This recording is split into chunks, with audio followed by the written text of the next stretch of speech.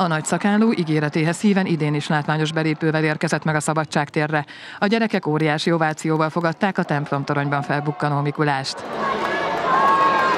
A Mikulás, ahogy már tőle megszokhattuk, óvatosan, körültekintően, lépésről lépésre ereszkedett le a templomtoronyból, meg megállva, természetesen kielvezve minden pillanatát, ahogy a több száz gyermek énekel, sikít, tapsol neki. Nem kisebb örömmel fogadták lent sem. A gyerekek gyűrűjében és a manók társaságában sétált a Mikulás a karácsonyfa mellett felállított kis színpadhoz, ahol most már valóban testközelből találkozhattak vele a gyerekek. És persze hosszasan időzött itt a nagy szakálló, hiszen minden apróbb és nagyobb gyermekkel közös fotó is készült. Ezeket a fotókat a Kossuth Művelődési Központ Facebook oldalán meg is lehet találni és emlékbe eltenni.